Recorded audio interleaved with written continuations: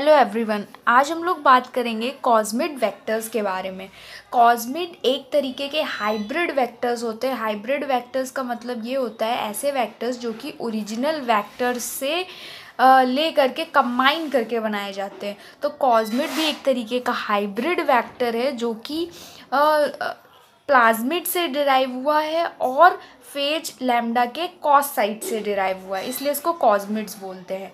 Cos for the cos sites of phage lambda and mid for plasmids so this is a cosmid vector cosmid is equal to cos sites of phage lambda and plasmid that's why it is called as the cosmid vector then cosmids contain an origin of replication and a selectable marker from the plasmid and it contains cos sites from the phase lambda vector.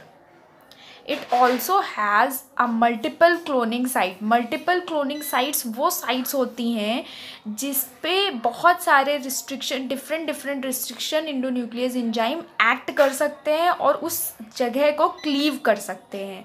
तो multiple cloning sites are those sites that contain different restriction endonuclease sites then cosmids are basically about 5 kilo base pairs in size. They are 5 kilo base pairs in size and we can clone about 32 to 47 kilo base pairs in the cosmids. That's why these are used for the construction of genomic libraries genomic library वो library होती है जिसमें हम किसी भी organism के पूरे genome को क्लोन कर सकते हैं। जीनोम का मतलब ये है, किसी भी ऑर्गेनिज़म में प्रेजेंट पूरा डीएनए या उसके सेल में प्रेजेंट पूरा जितना भी डीएनए प्रेजेंट होता है, उसे हम लोग जीनोम बोलते हैं। तो जीनोम एक बहुत ही बड़ा अमाउंट है, बहुत ही लार्ज यूनिट है डीएनए का।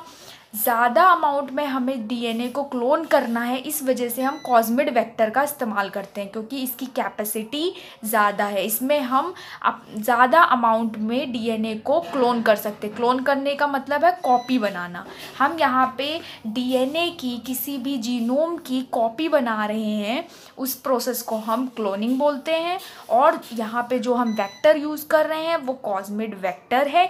क्यों? क्योंकि ये बहुत ज़्यादा अमाउंट में डी डीएनए को क्लोन करता है इसलिए हम कॉस्मिड वेक्टर का इस्तेमाल कर रहे हैं that's why uh, we called it as a cloning vector and it clones about 32 to 47 kilobase pairs now i am showing you the diagram of a cosmid vector as i have told you earlier that the cosmid vector contains cos sites cos sides from the phase lambda and it contains a plasmid and it contains plasmid vector. So this black portion is the cos side derived from the phase lambda vector and the whole region that you can see in this diagram is of plasmid. So that's why it is called as the cosmid cos for the cos sides of the phase lambda and mid for the plasmid rest of the portion that you can see in this diagram is from derived from the plasmid vector and this uh, cosmid vector is termed as PJB8 which is 5.4 kilobase pairs long. It contains different uh, multiple cloning sites for different restriction endonuclease enzyme like it has restriction site for BAMH1. BAMH1 is a restriction endonuclease enzyme. Third is a restriction endonuclease enzyme and SAL1 is also a restriction endonuclease enzyme. Besides this, it has an origin of replication of the plasmid and it has an ampicillin resistance gene through which we can identify that our recombination has occurred or not.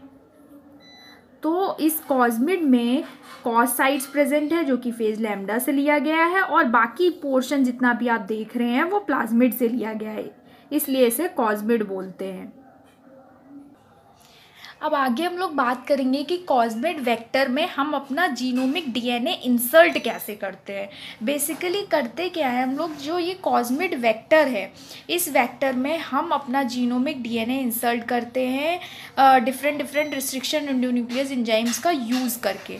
और ये बाद जो हमारा vector बनेगा recombinant vector बनेगा, उसे हम लोग फ़ेज़ लैमडा में इंसर्ट कर देंगे और फिर फ़ेज़ लैमडा वायरस बैक्टीरिया को इन्फेक्ट करेगा और हम अपना जो डिज़ायर्ड रिकॉम्बिनेंट मटेरियल है रिकॉम्बिनेंट वेक्टर है, उसको आइडेंटिफाई करेंगे एंटीबायोटिक रेजिस्टेंट मेथड के थ्रू तो इस मेथड में हम करते क्या है कि हमारा जो कॉस्मिड वेक्टर है, सबसे पहले हमारा जो जो टेस्ट ट्यूब है, उसमें बहुत सारे कॉस्मिड्स प्रेजेंट हैं और बहुत सारे जीनोमिक डीएनए प्रेजेंट है।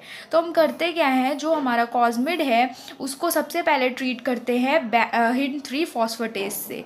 हिंड थ्री फॉस्फोटेज से ट्रीट करने से क्या होगा, ये जो कॉस्मिड देख रहे हैं आप, ये यहाँ से क्लीव होगा और इस तरह का कुछ फ्रैगमेंट आपको दिखेगा। Cos site then origin of replication then ampicillin resistance region and if we treat the same cosmid with Sal one phosphatase then we will get a portion like this we will have then we will cleave the cosmid from the Sal one region uh, we will have the origin of replication, ampicillin resistance and the cos sites. So these two fragments are there. Then uh, we will ligate our genomic DNA and we will make a recombinant vector.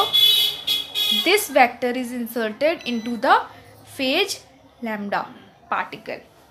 Then after uh, inserting it into the phage lambda, the phage lambda will act as a delivery system.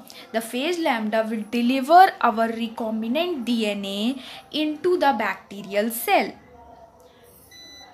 ये phage lambda जब bacterial cell को infect करेगा तो ये recombinant DNA bacterial cell में चला जाएगा और ये इंटीग्रेट हो जाएगा बैक्टीरियल जीनोम के साथ उसके बाद यहाँ पे ओरिजिन ऑफ़ रेप्लिकेशन प्लाज्मिड का मौजूद है, जिसकी वजह से हमारा पूरा ये जो इंसल्ट डीएनए का है, ये भी रेप्लिकेट होगा और इसकी क्लोनिंग हो जाएगी, इसकी कॉपी बन जाएगी। फिर हम इसे आइडेंटिफाई कैसे करेंगे कि कौन से बैक्टीरियल सेल में हमारा रिकॉम्बिनेंट पोर्शन मौजूद है। उसके लिए हम लोग एम्फिसिलिन का इस्तेमाल करेंगे। हम एक पेट्री डिश में एम्फिसिलिन डालेंगे जो कि एंटीबायोटिक है और उसके बाद अपनी बैक्टीरियल कॉलोनीज़ को वहाँ पर ग्रो कराएँगे। जिन भी बैक जो भी बैक्टीरियल कॉलोनी वहाँ पे ग्रो करेगी, वो एम्फिसिलिन रेजिस्टेंट होगी। इसका मतलब ये है कि उस बैक्टीरिया के अंदर हमारा रिकॉम्बिनेंट डीएनए मौजूद है। इस वजह से वो बैक्टीरिया वहाँ एम्फिसिलिन प्लेट पे ग्रो कर रहा है।